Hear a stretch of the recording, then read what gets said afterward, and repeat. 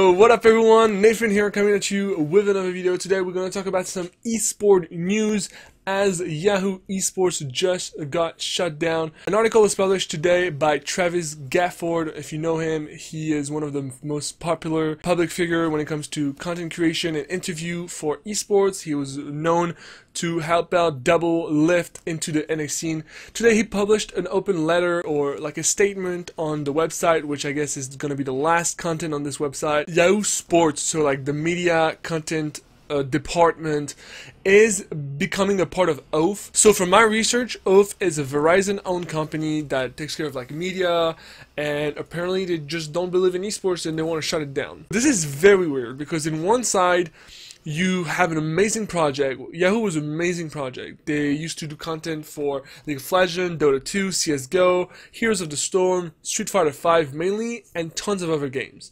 They had amazing exclusive content, interviews with pro gamers, and it was really interesting.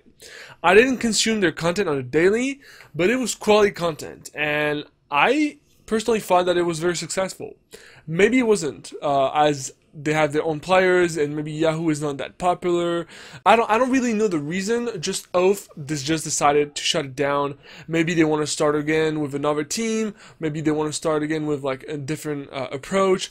But what is surprising is that they actually got to recruit uh, one of the most renowned LPL like Chinese uh, league of League of Legends uh, analyst and just content creator called Kelsey Moser. I will just show you her uh, Twitter account right here. She's one of the most popular LPL content creator, well renowned. Uh, she's been writing content for years now on the League of Legends uh, Chinese league. I'm surprised because you know what? Yahoo had an amazing team with like amazing individuals. That could be a project that could have blown up. I'm not really sure why this is happening, but I thought I would just discuss this with you. Verizon, I don't know what you're doing, but I'm pretty sure you're fucking up. Like esports has never been so big. It's a huge market that keeps expanding, expanding. Now is not really the time of shutting down your esports uh, department when you have such a quality team full of amazing, talented individuals. I'm kind of sad to see them go, honestly. Uh, I'm sure Travis and Kelsey will find other amazing jobs, maybe at ESPN. I know that ESPN Esport is doing some amazing job as well. Uh, the thing that was interesting is that Yahoo was really like a traditional media. Like they had like if you go to yahoo.com right now, you'll see some news about some celebrities, about sports, about this and that, politics and all. But it wasn't like uh, it Yahoo was not really known as a sport media. When you see ESPN, ESPN is of course sport. They used to do like they they do NBA, they do uh, NHL, they do like uh, NFL, all that stuff, and they decided to go to the esports right, right?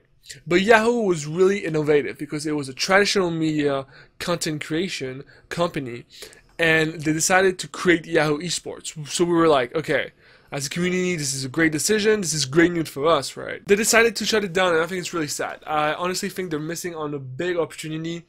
Maybe they're trying to focus on their audience. I feel like people who use Yahoo right now are maybe not the gamer demographic in terms of like age or interest, and I actually don't know anyone that uses Yahoo on a daily basis. So that's interesting to think about. If you guys were a Yahoo esports fan, let me know what was your favorite content and why you loved it so much. I'm actually curious to know your opinion about this company and let me know what you think about the decision. Is Oath making the worst decision of their life, shutting down an esports department that is about to that was about to blow up with like amazing talented individual or do you think uh, they're going to launch it again maybe in a different route or in a different like vision or anything? Or just do you think that they just had to do it because the demographic uh, and the Yahoo users are not really interested in esports and they couldn't just drag, uh, they didn't have a lot of traction. I mean, it's hard to see how many views a video had in their platform, so it's always hard to say.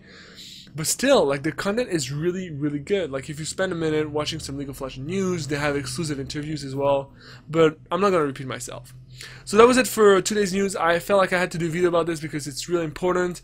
I think one year ago I actually did a video about the announcement of Yahoo Esports and how I was excited about it, and I'm really, um, I'm really sad to see them go. I think it's really uh, unfortunate. So thank you so much for watching this video. Please consider subscribing to this channel if you like uh, if you like more content. I do post daily now, so expect to see more gameplay and more video like this. And also Let me know something you didn't like about this video so I can make sure I can change it for the next one and get better at this YouTube thing. Thank you so much for watching guys. I'll see you for the next one. Cheers.